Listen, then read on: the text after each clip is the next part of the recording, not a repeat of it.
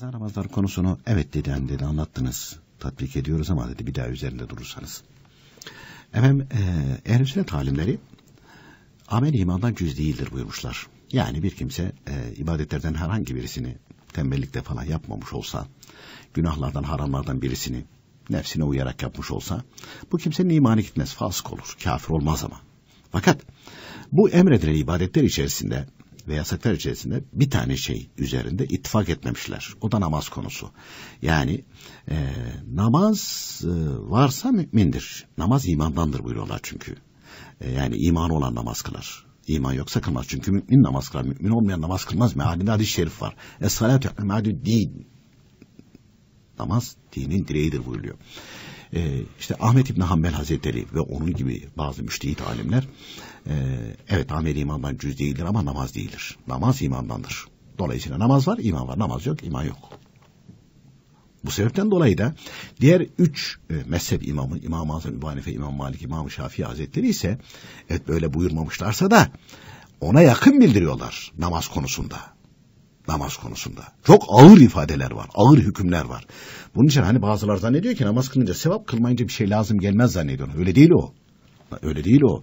Namaz kılmamanın günahı o kadar ağır ki, o kadar ağır ki diye anlatmışlar ve yazmışlar.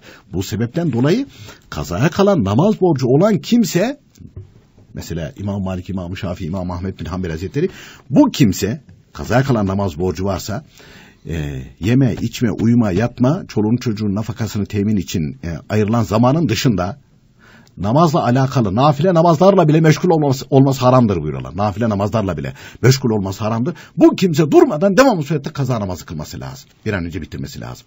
Bu suçtan, bu günahtan kurtulması ve tövbe istiğfar etmesi lazım. Hanefi mezhebi de böyle bildiriyor bunu.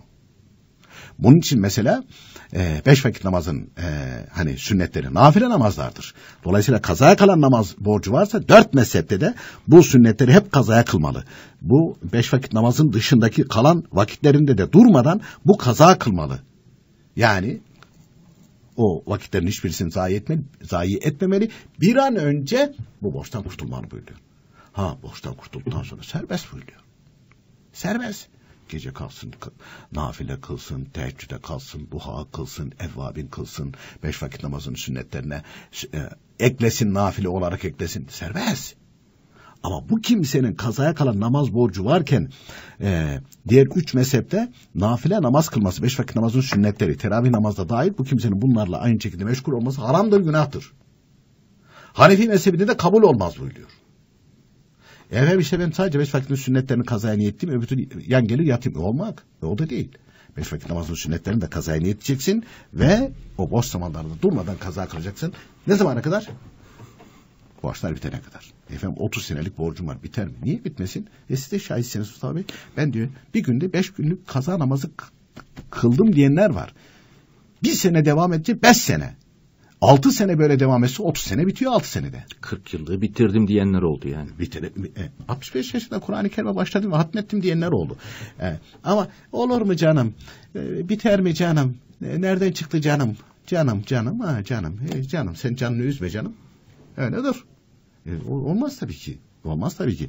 İşe hep menfi tarafından aynı şekilde başlarsan, hep menfi tarafından başlarsan e, zaten yapmayacağın belli. İpe, ipe un seriyorsun. Ha, ipe un seriyorsun. E, bu sebepten dolayı kazaya kalan namaz borcu olan dört mezhepte de sabah namazını sünnet Hanefi mezhebinde vacip diyen, vacip makamda diyen alimler var. Yine onu sünnet diye kılar. Öğlen namazın ilk sünnetini ilk kazaya kalan öğlenin farzı der. Öğlenin son sünnetine sabahın e, sünnetini sünnet diye kıldığı için öğlenin son sünnetine ilk kazaya kalan sabah namazının farzı diye niyet eder. İkindinin sünnetini ilk kazaya kalan ikindinin farzı diye niyet eder. Akşamı zaten önce farzı kılmıyor. Sonra sünnetini ilk kazaya kalan akşam namazının farzı eder. Üç rekat olarak kılar. Yatsının ilk sünnetini ilk kazaya kalan yatsı namazını farz eder ve yatsının son sünnetini Hanefi mezhebindekiler ilk kazaya kalan vitir namaz der. Üç rekat olarak aynı şekilde vitir gibi kılar. E, böylece bir sünnetleri terk etmiş olmuyor burada. İki bir günlükte kaza namazı borcu ödenmiş oluyor. Bir de kendisi bunun arkasına bir günlükte ilave ederse günde iki günlük. Bir sene devam etse iki senelik. Yirmi senelik namaz on sene böyle devam etse bitirir. Bitirir. E, oruç da böyle. Kazaya kalan oruç borçları, adak borçları e, ne, e, varsa Yemin kefareti borçları varsa çünkü yemin kefareti borcu üç gündür vaciptir. Adak vaciptir. Ama farz borcu var. Önce farz sonra vacipler. Ondan sonra nafile Allah rızası için oruç tutar. Efendim bir sene ben Allah rızası için oruç tuttum. E, e benim de kefaret borcum da vardı. Bunlar ödenmiş oldu mu? Olmadı. Olmadı. Efendim oldu diyen de var. Görürsün toprağın altına girince. Ehl-i sünnet alimlerinden hiçbirisi demiyor. Ama ehl-i sünnet olmayan, itikadı ehl-i sünnet olmayan İbn Teymiye mücessime fırkasındandır. Ehl-i sünnet değildir. Ehl-i sünnet alimlerine muhalif olması için zaten Vehhabiliğin de kurucusu o. Temelde onun fikirlerinin üzerine kurulmuştur. E, dolayısıyla bir tek o söylüyor. Nafile namazlar onun yerine geçer diye. Hiçbir ehl-i sünnet alimleri öyle, öyle buyurmamıştır. Hadis-i şeriflerde de öyle geçmiyor. E nedir? İslamiyet'i bozmak. Zaten adam bidat ehli olduğu için öyle söylemesinin herhangi bir söz konusu değil. Onun için efendim kaza namazlarını e, bitirene kadar nafile namazların yerine de habire kaza kılmalı. Böylece borçtan bir an önce kurtulmalıdır.